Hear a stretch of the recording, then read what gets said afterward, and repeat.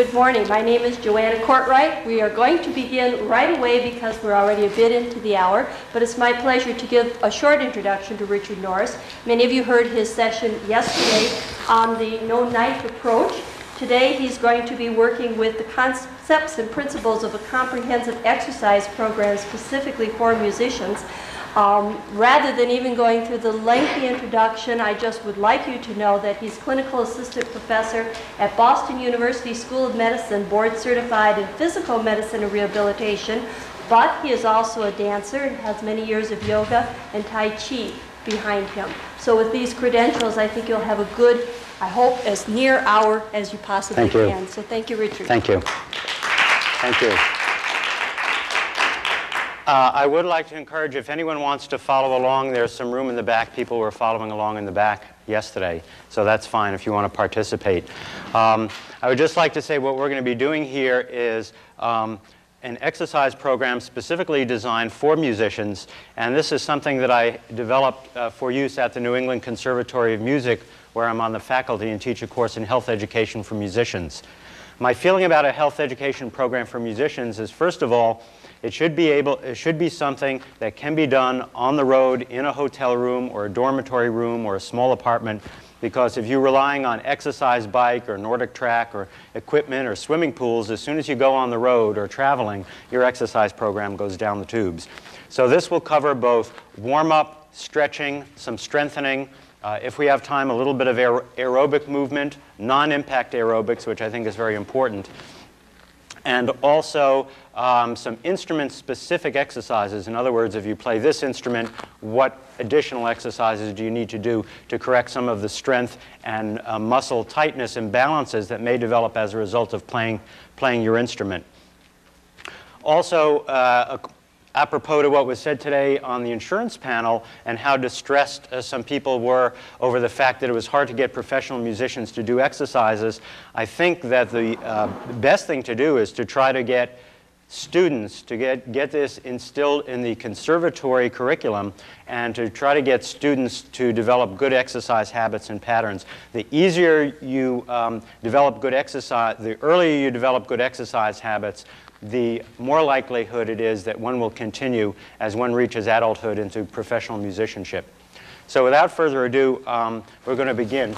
I'd like to start off by saying that stretching is not a warm-up, although many people um, inappropriately think it is. Muscles, muscle tissue is elastic, and in order to stretch it, you need to warm it up properly first. So I'm going to start with a warm-up basically derived from Tai Chi that I've studied, and from there go into stretching and then strengthening and then the other parts. Again, if anyone likes to, please feel free to follow along in, in the back of the room. So the first thing I'm going to do is um, some of these Tai Chi, they're like breathing exercises, and I'll comment as I go along. The knees are approximately shoulder width apart, the feet are shoulder width apart, and as I go down, the knees are going to stay directly over the toes. Okay? That way you avoid knee strain and knee injury. My spine and back is kept straight, and as I go up, my arms reach the top at when my knees are fully extended, and my arms reach the bottom as I come to the bottom of my knee bend. So there's sort of a coordinated rhythm between the arms and the body. And I'll breathe in when I go up, and breathe out when I go down. Also notice that at this point my hands are facing palm down, but as they cross, the hands turn palm outward and then float down very gently as if you're doing this through water. You can rise up onto the toes if you like at this point and settle down here. There are several of these, so I'll go right from this one into the next one. This time, as I go down, I'm just going to let my arms go down. They overcross slightly, and as they come up, I'm going to go down. So this is the opposite of the one we just did. The arms go up and the body goes down. And again, breathe out. Breathe in. Hands are very relaxed. Hands and arms are very relaxed in this. Do it from the side so you can. Okay? Now at the top of my stroke here, I'm going to let my arm settle down to a bent elbow position like this and push straight out to the side. Breathe out. Breathe in.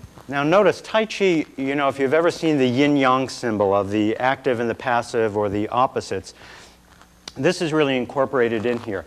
At this pushing out phase, the extensor muscles of the forearm are contracted so that the hands are up and you have the feeling against pushing out against subtle resistance like water.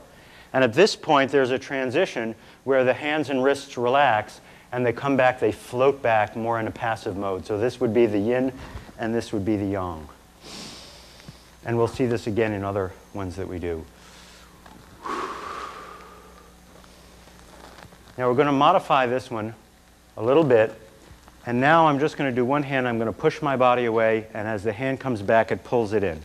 Pushes it away and pulls it in. Breathe in. Breathe out. And again, this is the active phase. My, my uh, wrist is up and the feeling of strength. And here is relaxation. So contraction, relaxation. Now do it on the other side.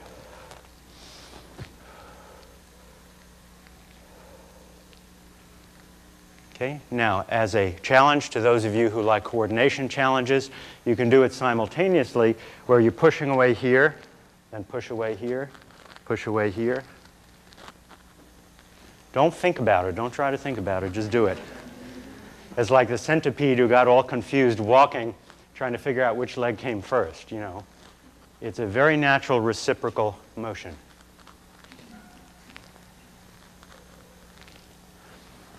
And again, the hand relaxes on the upstroke and it's contracted on the extension. Okay, the next one we're going to do, I think, is very good for uh, fiddlers and the bowing arm uh, because it really has that paintbrush effect. And again, feet shoulder width apart. I'm just going to let my arm swing across my body. First the shoulder closes, then the elbow, then the hand and wrist. Then I rotate my body, shoulder opens, elbow opens, hand and wrist opens and bring it across.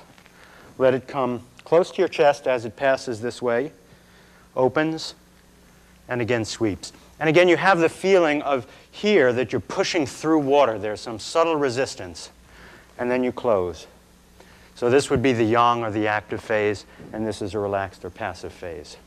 Okay? Show that from the side. And of course, there's a weight shift that's involved in this also. I'm shifting my weight from one knee bends and the other knee extends.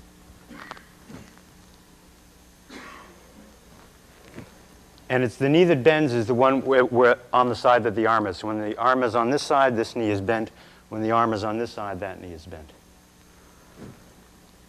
So you breathe out, breathe in, breathe out, and in. And do it with the other side.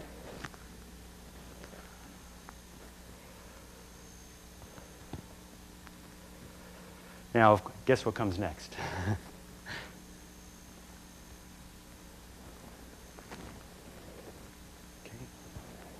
Very smooth and coordinated. Okay, now the next one that we're going to do uh, requires a stance that's like a martial arts stance, one foot straight forward and the other foot more or less at a 45 or 90 degree angle. And again, the weight shift is going to be forward and back, but notice that the torso stays vertical. I'm not leaning forward and back like that, but simply shifting my weight forward and back. Okay? The left arm starts across the body like this and makes a big, broad sweep out. And at the end, it turns over and floats down. Notice that my body rotates forward and side, forward and side. And when it's turned to the side, it lets the arm swing past it. Gravity makes it come up to here, and then you just open up again. A little lilt at the end, and it comes down, almost like a, a conductor preparing, giving a preparation. Okay, right hand starts off with the elbow bent and the hand up like this, and pushes straight out with the chest straight forward. And again, same thing, turns over, palm up, and just swings down in a straight arc. And gravity lets it come up and around, bend the elbow again, and then push straight out.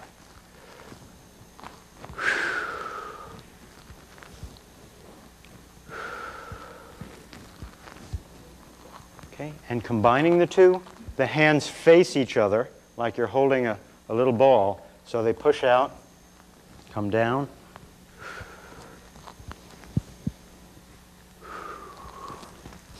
Breathe in.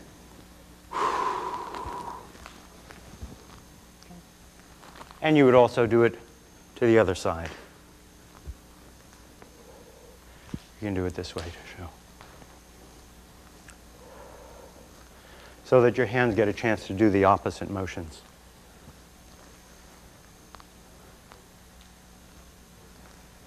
Again, notice the weight shift forward and back as I'm doing that. Okay? The next one, again, same stance. You're going to do a forward and back weight shift, but this time you pretend that you're standing chest deep in water and your arms are floating on the top of the water and you're skimming the water like this.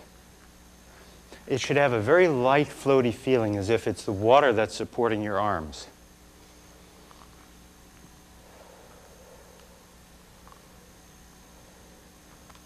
Also notice that the closing of the arms is accomplished by um, moving the trunk forward. I'm already coming forward even as my arms are completing the backstroke. And as my arms come forward, I'm already moving my body backwards. So do it from the side.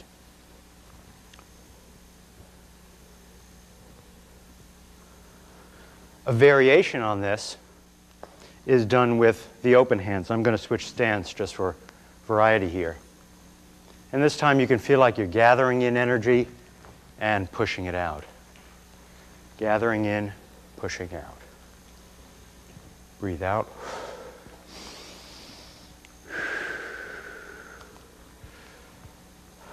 Okay? And the last one we're going to do is like an opening and a closing exercise. This one, we're going to be stepping open and then stepping closed. Stepping open and stepping closed. And it goes like this.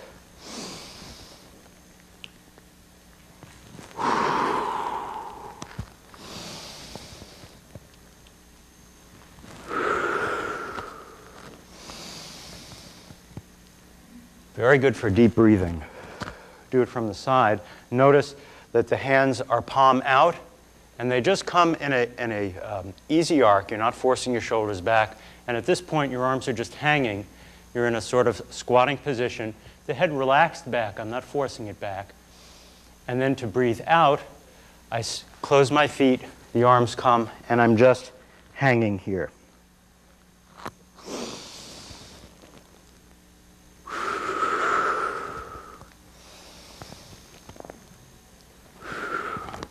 Okay, I'm warmed up, so we can go on to the stretching now. Remember I said you need to warm up, get the body warm before doing the stretching. I'm going to start, in order to make it simple and easy for me to remember, I start with the neck and work all the way down to the heel cords and calf muscles. That way it's easy to remember. It's kind of a systematic way to do it. I'm going to start with just simple neck rolls. And again, I want to say, I didn't say this at the beginning, but this exercise program is really for uninjured people who want to do this. If you have a specific injury, you need to check with your doctor or your therapist to modify this plan for your specific needs. But this exercise program is designed for uninjured people and to prevent injuries. So neck rolls, nice and slow. My knees are soft and my hips are soft. They're not locked. You can do this at your own speed.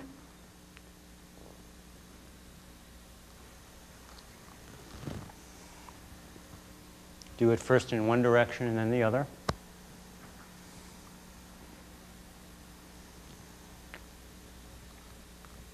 And do it from the side.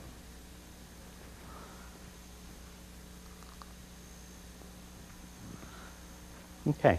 Now I'm going to do rotation of the neck. Just moving it as far as it goes comfortably, holding it for five or ten seconds, and going to the other side. If you like, you can do sort of a little nodding at the end of the range there. Just taking it through the full range of motion.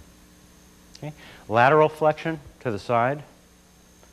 Now the thing you want to be careful about here is not letting this shoulder hike up in the air. You can either hold on to your trousers or whatever, or if you're sitting down when you do this, you can hold on to the side of a chair. That will prevent that shoulder from hiking up. Okay? So lateral flexion first to one side and then to the other again, holding these about 10, 15 seconds, no bouncing, it's a steady stretch. You can also do it in the front for the front of the neck muscles. Okay. Um, sort of more advanced, if you want to do that, is straight forward and straight back. Some of these exercises come right out of jazz dancing and jazz isolation. If you really want to try a challenge, you try side to side or, or little circles, you know, like your little. We used to do that all the time in jazz class. Okay, let's move on to the shoulders. Shoulder shrugs. Bring all the way up, bring your shoulders back, down as far as they go, then letting them roll in slightly, up, back and out, and down around. Okay, knees and hips relaxed. Don't lock the knees out straight. You can breathe in as you go up. Okay. You can also do this with your arms up in the air like this. Do it forward and backwards. Or you can do one arm at a time.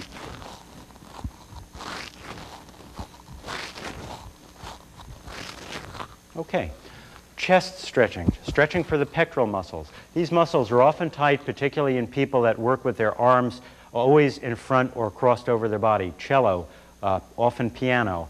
And these muscles will make it very hard to stand up straight if they're tight. So chest, pectoral stretching, we're just going to breathe in and just go. This can be combined with stretching the muscles between the shoulder blades, the rhomboid muscles, by going from this position to this position. This is right out of modern dance. And basically what I'm doing here is making a, like hugging a beach ball.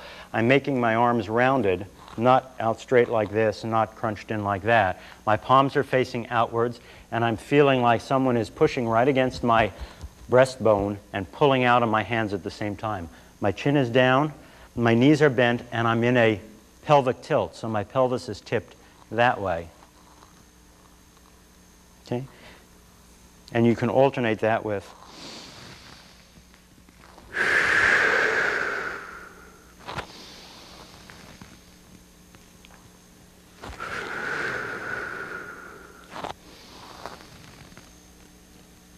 Okay? Now, if you want to get a little bit more of a stretch on there, you can reach forward with one arm while reaching back with the hip on the same side. So you would do a stretch like that. And that gives a little bit more of a stretch there. Okay. You can also do that as sort of a non-impact aerobic exercise by opening and closing. You could do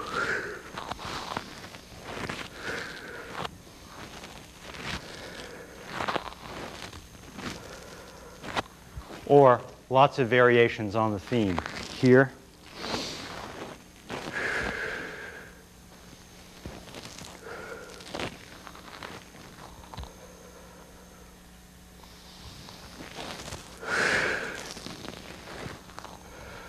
try that from the side.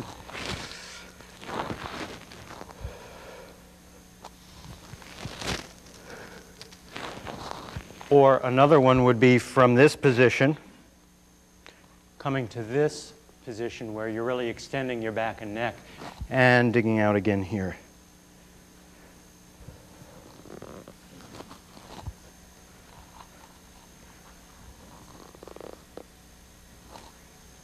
Okay.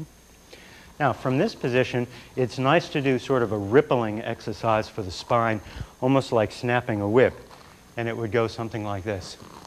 Again, I'm going to start with my head back, lead with my chest. And as my hips close, I'm going to reverse, let my head sink, and roll up. As my head comes back, I'm already leading forward with my chest.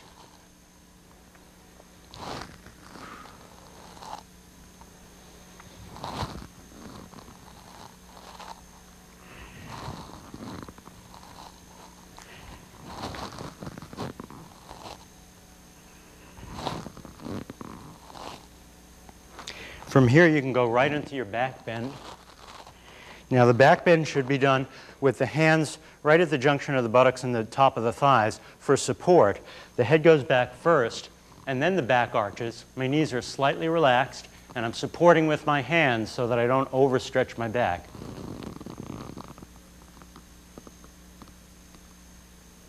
And then you can come out of it by going into that rippling one.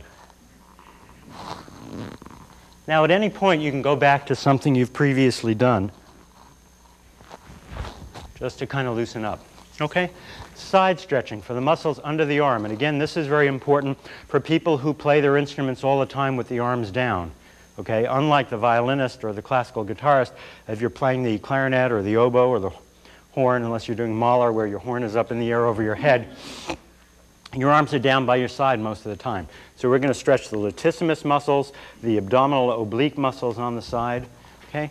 Now there are three levels of doing this. The easiest and safest way is to start off with your hand on the side of your thigh like this for support. I'll do it on this side.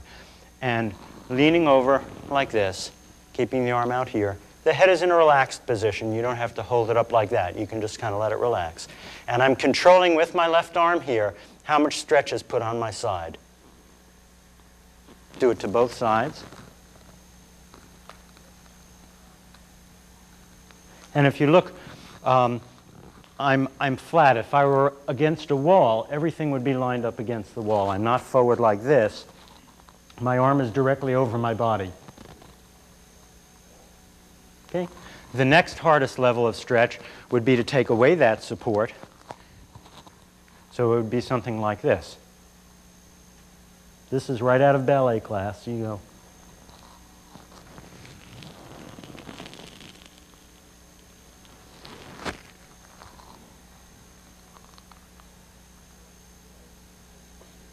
Okay? And harder still is to use two hands out to the side. Don't try to do it unless you think you're able to. You would want to build up to this progressively. Don't start off with the most difficult if you're not used to doing it. Okay, uh, going on, we're working on stretching the spine of the chest now. The same way we did rotation of the head, let's do rotation of the spine. Um, here again, the feet are shoulder width apart. And as I rotate, the important thing is that to the side that I'm rotating, I'm going to release that foot and let it turn out a little bit so you don't strain the knee on that side. Okay? This can be done either, we'll do it this way. This can be done either with the hands on the hips, looking in the same direction. The hands can be out this way, or they can be locked together using the backward hand to pull the forward hand a little bit to get an extra stretch.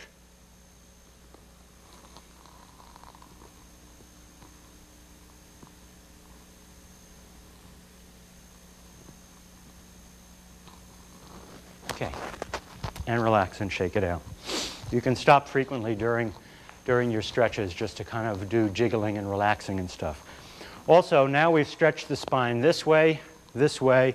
We've done forward and back. Let's do just a little bit of hanging just to stretch the back muscles passively and let them relax. Knees are bent, hips are slightly bent, and I'm just hanging. My arms are just hanging. You can drop one arm, drop the other arm to get a little rotation in the back while you do this.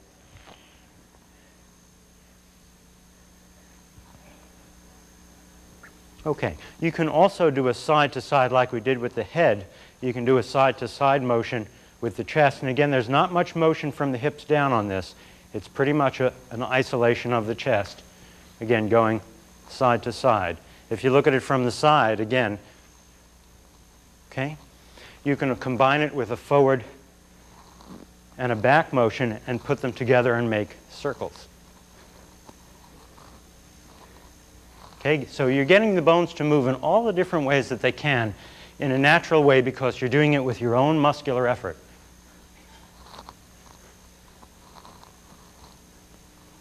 Okay. Um, I think we've pretty much covered uh, chest and back and all of that as far as stretching goes. Let's quickly do some lower extremity stuff. After all, if you're a soloist and playing out there, you don't want to be very rigid in your hips and knees and stand there and play like that. You want to have some flexibility, so the Tai Chi stuff is very good for it. And the stretching is too. Big hip circles, my knees are straight. The motion is just happening at the ankles and the hips. Notice that when my hips are forward, I'm back. When my hips are back, I'm forward. Same thing from side and to side. So you're always in balance. This is a very relaxed, easy.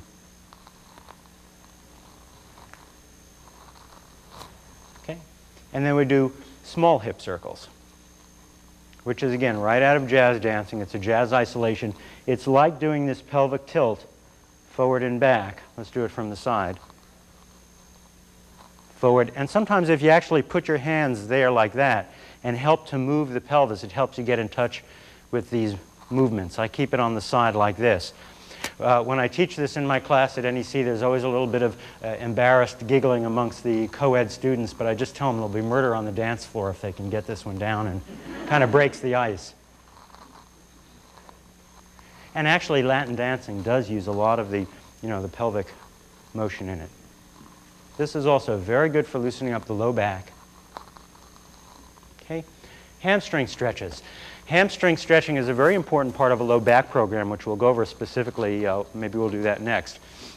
Because when you bend forward, there's something called lumbopelvic rhythm. In other words, your lumbar spine flexes, but your pelvis also rotates as that happens.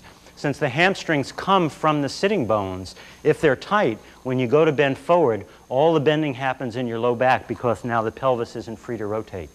So a very important part of preventing low back pain is flexibility of the hamstrings. If they're tight, again, you can use your arms for support and kind of walk your way down the legs. The head and upper body should just be relaxed. Knees need to be straight but not jammed back on this one. And you could just kind of work your way down little by little. If you like, you can put some phone books or something or a low stool here to rest, to rest on. Or you can just simply hang. You don't want to bounce, but little pulses are okay. The reason you don't want to bounce is because muscles have a built-in protective mechanism called a stretch mechanism, where if a sudden stretch is put on them to protect themselves from tearing, they automatically contract very vigorously. So you, that's why you don't want to bounce when you do this.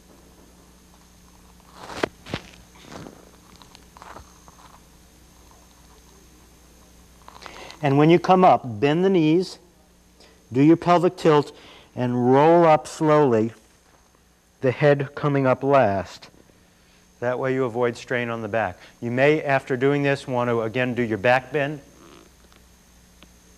And again, briefly repeat any of the other ones that you've already done. Just kind of as a review and loosening up. Okay? Um, quadricep stretching on the other side of the hamstrings or the quads. This, uh, these are very easily stretched. You can either hold on to the wall or if you want a balance challenge, you can do it without holding onto the wall. And you want to uh, both bend your knee, but if you want more of a stretch, you need to bring the knee slightly behind the level of the hips while maintaining upright. You don't want to lean forward, you lose the stretch. But bringing this back like this, and just hold it for a few seconds, and relax, shake it out, do the other side. You can also do this lying down if you want to. You can do it lying on your side. Again, you want to make sure the knee is, is brought behind the body when you do that. Okay. And very briefly, calf muscle stretching can be done against the wall. Both feet, notice, are pointing straight forward. Okay. One foot forward, one foot back. The important thing here is to start off with your heel on the ground. You don't want to put it so far back that you can't get the heel down. Move it far enough so you start off with the heel down, and you get your stretch by sliding that front foot a little bit far, further forward and bending your elbows and the front knee, keeping the back knee straight. And switch. You also want to make sure when you do it that the front knee stays pretty much over your toe.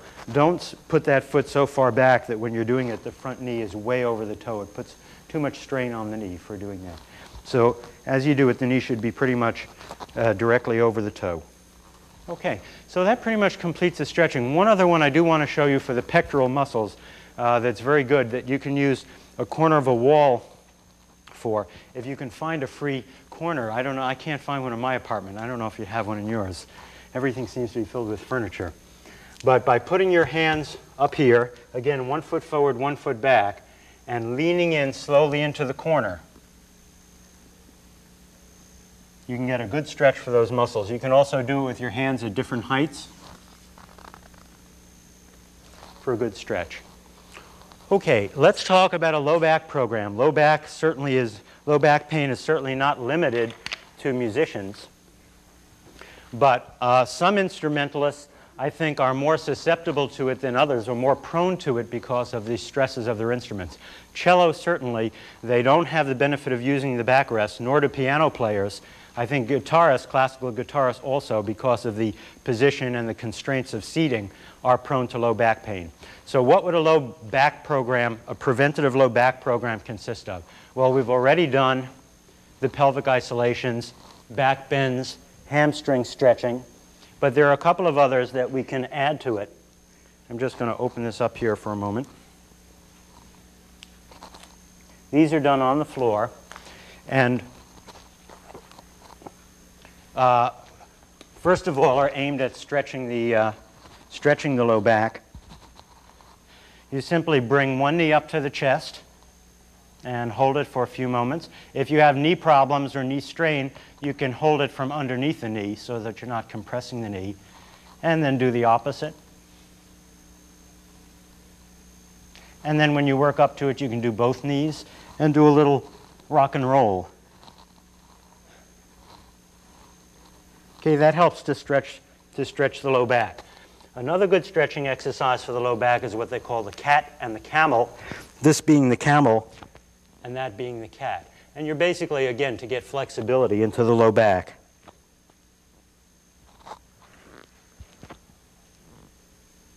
You can also modify this into uh, this kind of exercise.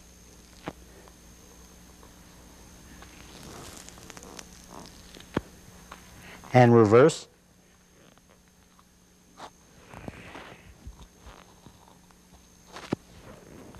Okay. Strengthening the low back can be done at the same time as strengthening the hamstrings and the upper back all simultaneously. This can be done by lying on your stomach and arching up from this point here, like this. If your knees are bent and your elbows are bent, it's easier. Okay? You come back. If you do it with everything outstretched, it's a little bit harder. Also strengthens the back of the neck muscles and the muscles in between the shoulder blades. Hold it about four or five seconds and then release. If you want to modify it, you can just do the chest or just do the one leg at a time separately, depending on what level you're starting out at. Okay? One more like that is lifting one leg to the side. I mean, one leg out to the back and bringing it in with a contraction, trying to touch your head to the knee, and then arching up again. Okay, and then repeat it on the other side.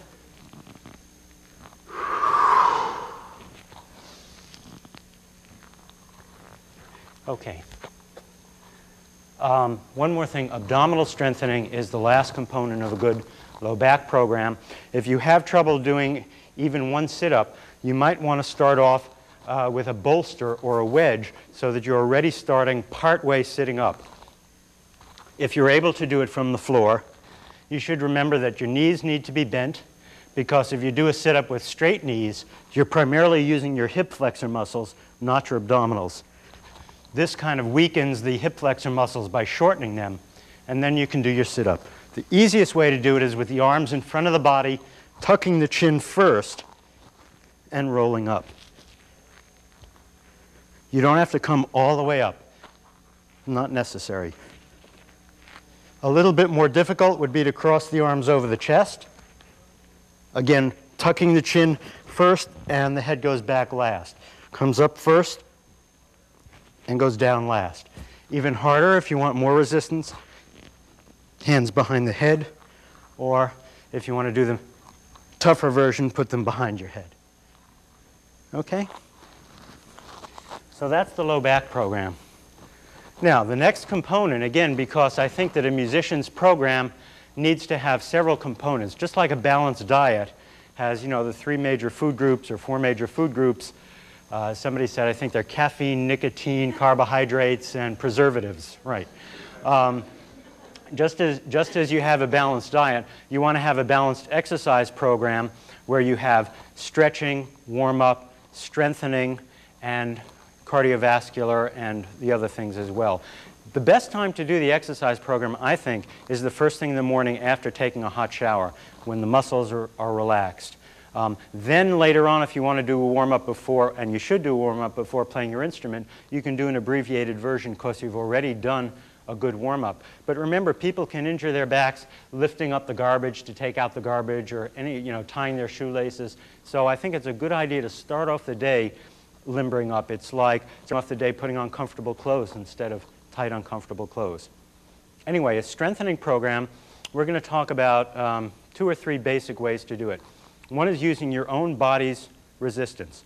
Um, first of all, you can just simply flex your muscles. You know, it just feels good to do that. You straighten your arms, roll them in and out.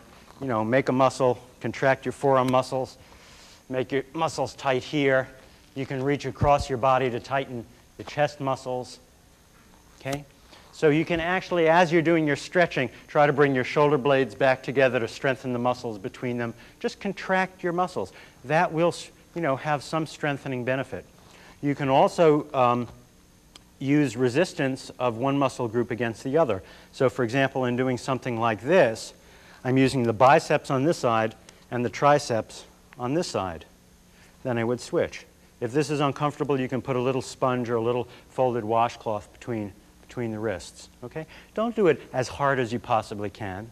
You know, do it half as hard as you can and gradually build up to it.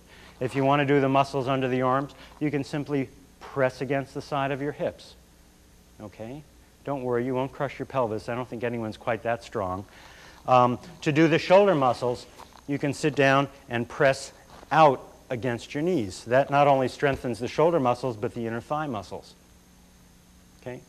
For the trapezius muscles, you can pull up on the underside of your thighs. That will strengthen the muscles and work the muscles there. So there's a lot that can be done without uh, the use of weights and equipments and things like that. One of the things that I would like to talk about that I think is very useful for musicians and that I include in my class is the use of TheraBand. And you can um, get ordering information or get this from any physical therapist or most occupational therapists know where, where to order it. And I think it's very useful because it's inexpensive, folds up, stick it in your gig bag, you can take it with you wherever you go. Um, exercises that can be done with this, for example, if you want to do biceps strengthening, just simply like this. And remember, the, the shorter you, uh, the TheraBand is, the more tension. So this is a lot more resistance than this. So you can grade according to, to your needs. Okay, do it on both sides. For triceps, for example, you can simply hold it behind your back and do it like this. And again, you would want to open it up so that it's over your fist, like that, because that's the most comfortable way to do it, so that the pressure is not concentrated and not constricting. Okay? If you have a little beam, you can tie this to, put it overhead. You can do pull down, straight pull down exercises like this for the latissimus underneath, or else tie it around some kind of a hook or a pole, or get a tall friend to hold it for you. Okay? Um, other exercises that are important that you can do with this for the shoulder muscles or the deltoids. You can do the one that we just showed before. Just kind of shorten up on it. Okay? For the underarm muscles, again, you'd need to, to hook it around something. Perhaps I can use this.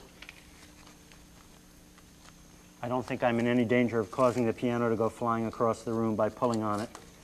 Um, but for example, the underarm muscles.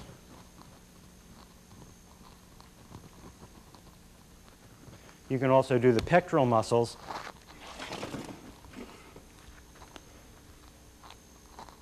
by bringing it across the body. Okay, again, you'd want to open this up so it's comfortable. And my fist is very loose. I'm not making a tight, hard fist when I'm doing this. Internal and external rotation for the rotator cuff muscles of the shoulder particularly important for those instruments that really uh, demand a lot out of the shoulder, like the bowing arm, or even the left arm of the fiddle, the guitarist, and the like. For this exercise, you want to make sure that your elbow is bent at a 90 degree angle and that it's tucked in close, held in close against your side. You start with the arm in external rotation and you bring it across the body. This is different from the pectoral muscle where we were doing like this. Here the elbow is at 90 and you're simply doing a rotational thing. To strengthen, that's for the internal rotators, the subscapularis muscle. Incidentally, that's the only muscle that crosses the front of the shoulder joint. So if people have problems with the shoulder slipping in and out of socket, subluxation, this can help to strengthen that and perhaps stabilize the shoulder. To do the opposite muscles, the external rotators, for the sake of demonstration, I'll do it on this hand. Again, elbow at 90 degrees held against the side, but this time I'm starting with my hand across my body and I'm opening it up like this.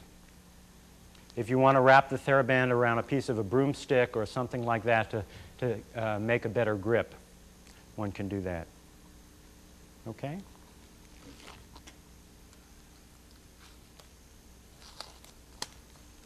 You can also strengthen the trapezius muscles at the base of the shoulder, which are so important in the thoracic outlet syndrome where the uh, blood vessels get compressed from sort of a droopy shoulder girdle. You want to strengthen the muscles that hold up the shoulder girdle. You can hold one end in each hand and just stand on it and do your shoulder shrugs that way. Okay? The closer your grip is, the more resistance.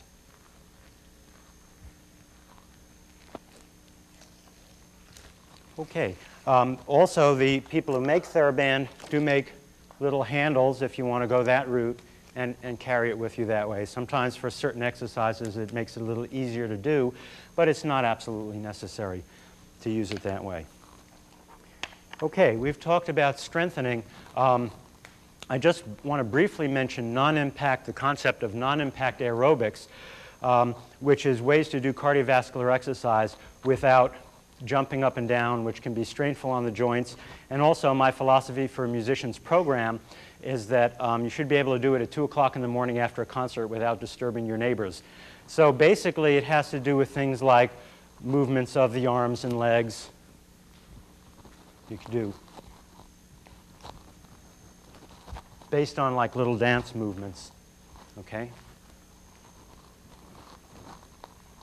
And again, it's quiet, there's no pounding, impacting, walking forward, back. So you can just make up your own, or else there's a very good tape by Debbie and Carlos Rosa, produced by Vestron, which is in Stamford, Connecticut, that has a whole hour program of this non-impact aerobics. The last thing I briefly want to talk about is instrument-specific exercises, and that would be in addition to the general program that we've just gone over. Some brief examples. Um, if you play the violin or viola, your left arm is externally rotated, the right arm is internally rotated much of the time. So if that's all you do all day long, um, you can develop tightness in the back of the left shoulder and tightness in the front of the right shoulder. You know, you see people walking down the street like that, you say, oh, you play violin? They say, how'd you know? You know, um, so you can simply do, we didn't cover this, but shoulder stretching exercises. And this is not the rotation. The chest is, is staying straight forward, but just simply grabbing my elbow in each hand to stretch the posterior deltoid muscles, the back of the shoulder. Okay?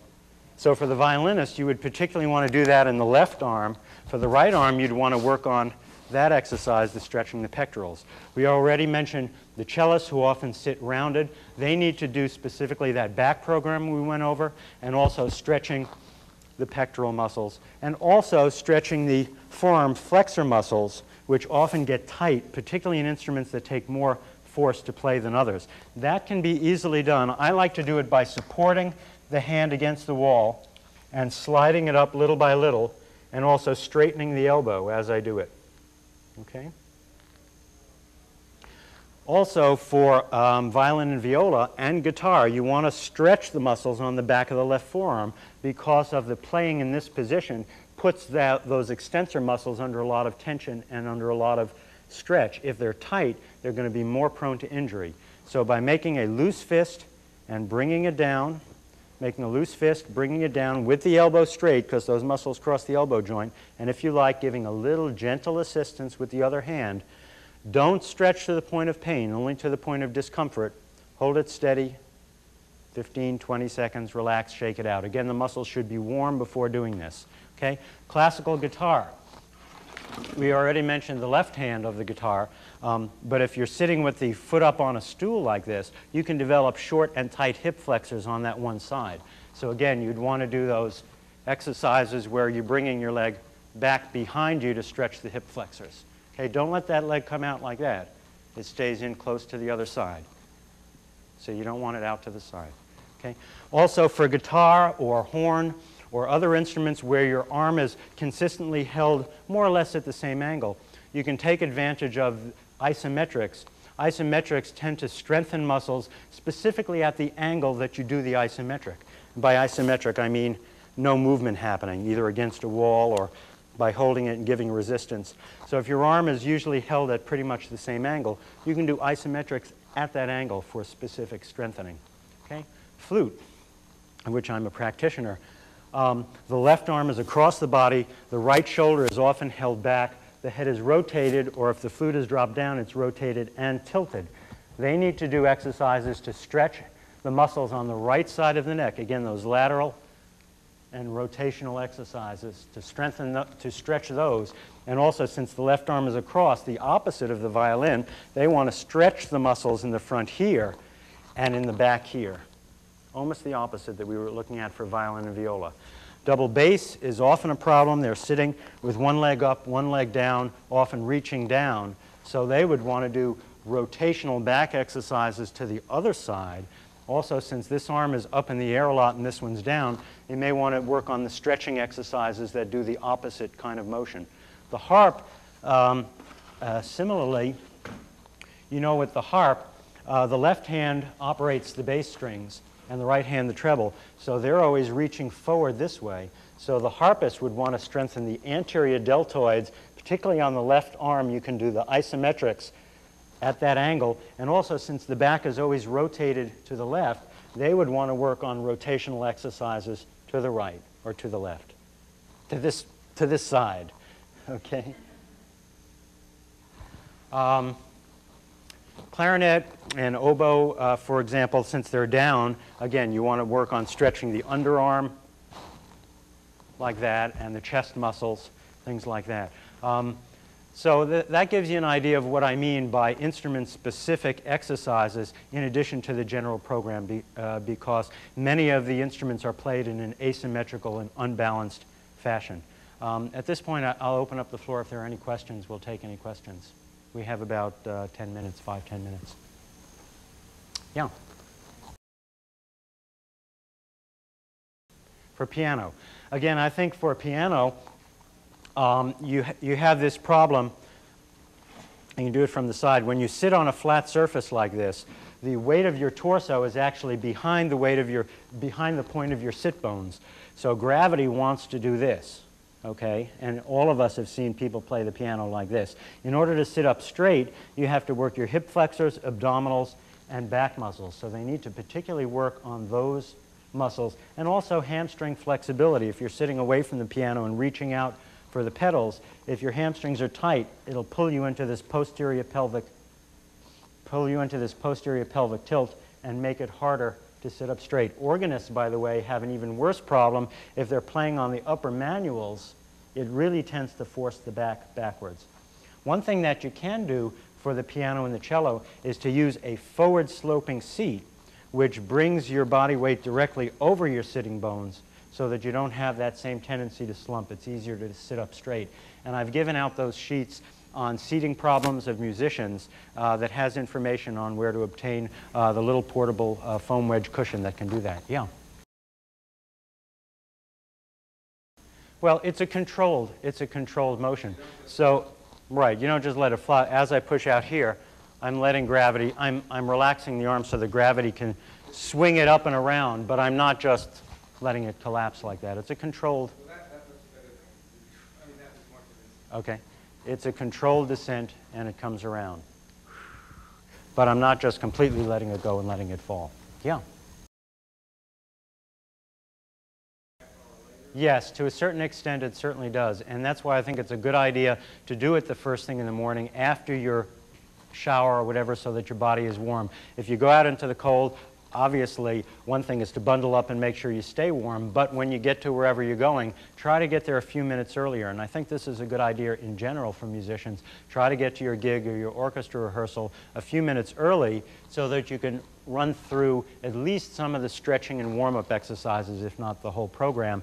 And if you've done it once already in the morning, you can do an abbreviated version. You do have some carryover and some benefit. Certainly the longer period of time between doing it, the less carryover. If you do it in the morning and your gig is at 8 o'clock at night, um, there's not as much carryover as if you've done it three or four hours earlier. When a muscle is injured, for example, with tendonitis or a muscle tendon injury or a pulled muscle in the neck or whiplash or anything like that, when a muscle is injured, um, its natural tendency is to contract. That's called muscle spasm, and the purpose of that is to splint and immobilize and protect the injured area. Unfortunately, it becomes a vicious cycle where when a muscle is continually contracting, it then becomes itself a source of pain because it's not relaxing and contracting, it's constantly tight. So it is important in injuries to restore the proper length, the, the normal resting length of the muscle.